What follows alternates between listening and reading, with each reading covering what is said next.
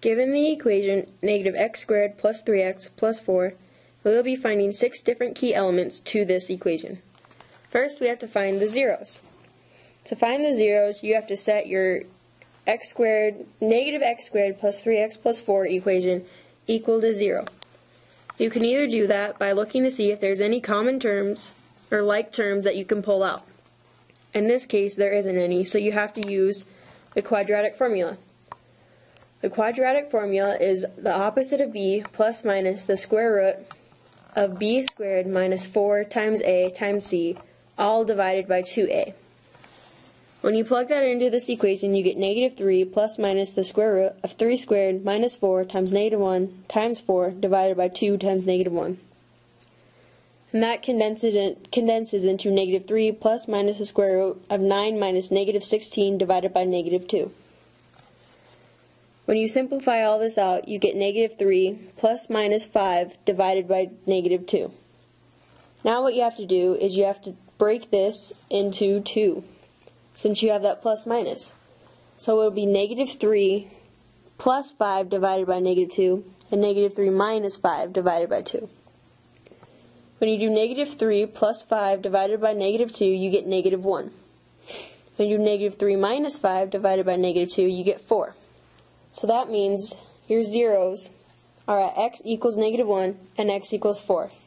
These are your points that lie on the x-axis. Next, we find the critical points. To do that, you take your original equation and you derive it once.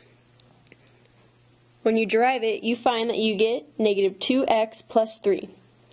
With this equation, to find your critical points, all you do is set it equal to 0. When you set it equal to 0, you find that you get x equals 3 halves. This is your critical point. Next, we have to find the relative extremum. To do that, I took my critical point and I plugged it in to the derived, the first derived equation, which was negative 2x plus 3. When I did that, I got 6.25. Since there was only one critical point, we have to Take another point that was around there and test it to figure out if this point is our minimum or our maximum. I plugged in 0. When I plugged in 0, I got 3, and 3 is positive, so that means this graph would be our maximum. So that means that this point is our maximum. So you have a maximum at 3 halves, comma, 6.25, and there is no minimum. Another way you can do that is with this equation, you can tell that it's going to be a parabola. And since the first term is negative, that means the parabola is going to be flipped, so it'll be upside down.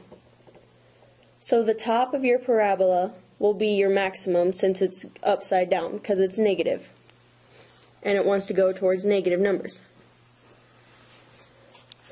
Next, we have to find increasing and decreasing intervals. With that, you take your critical point and you make a sign line.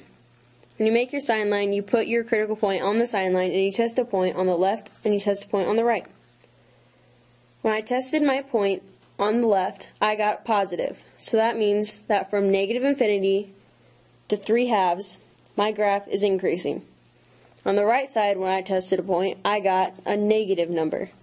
So that means from 3 halves to infinity, your graph is decreasing. Those are your increasing and decreasing intervals. Next, we have to find the inflection point. To find the inflection point, you take your first derived equation, which is negative 2x plus 3, and you derive it again.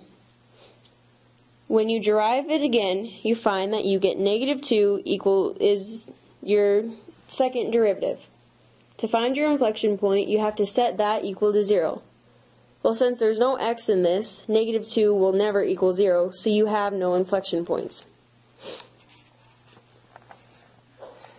Next, you need to find concave up and concave down.